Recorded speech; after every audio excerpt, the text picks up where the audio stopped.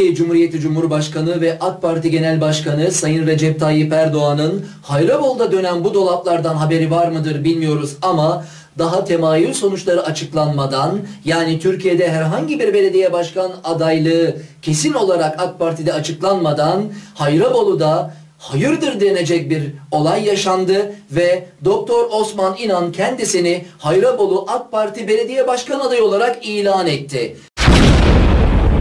Ey AK Parti, Hayrabolu'da madem böyle bir ayak oyunu düzenleyecektiniz, neden aday adayı olun da AK Parti'mizi layıkıyla bu seçim sürecinde temsil edin, içinizden birini aday seçeceğiz dediniz.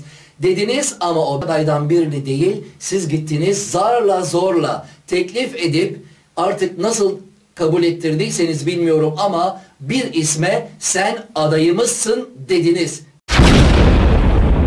Heyhat gel gör ki AK Parti Doktor Osman İnan'ı aday gösteri verdi. Daha önce hakkında mahkemede SGK'yı dolandırmaktan dava açılan, daha önce sekreteriyle gönül ilişkileri ayyuka çıkan, hatta ve hatta eşinin gidip çalıştığı sağlık ocağının camlarını indirip ortalığı kaldırdığı, herkes tarafından açıkça görülen Doktor Osman İnan AK Parti'yi Hayrabolu'da temsil edecek. Vay canına!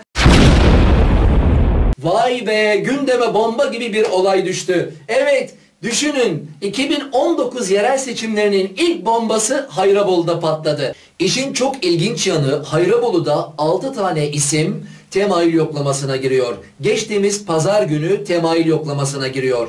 Temayül yoklamasına giriyor ama temayül yoklamasında ismi olmayan bir isim Doktor Osman İnan birden kendisini bugün çarşamba günü Hayrabolu Belediye Başkan adayı olarak ilan ediyor. Bu ne perhiz bu ne lahana dedirten bu olayın ardında ne gibi gizli planlar var? Benim bildiğim gerçek AK Parti'de son sözü söyleyecek olan Genel Başkan Recep Tayyip Erdoğan'dı. Fakat Recep Tayyip Erdoğan'dan çok önce bazıları kendilerine göre adaylarda son noktayı koymuş görünüyor. Peki Türkiye Cumhuriyeti Cumhurbaşkanı ve AK Parti Genel Başkanı Recep Tayyip Erdoğan'ın Tekirdağ'da özellikle de Hayrabolu'da dönen bu dolaplardan haberi var mı? Ne demiştik müziğimizde? Bir daha gelirsen bu dünyaya yine cin olur çıkardım karşına Bir daha gelirsen bu dünyaya yine cin olur çıkardım karşına Nişat Ayvaz, kül yutmaz. Kalın sağlıcakla.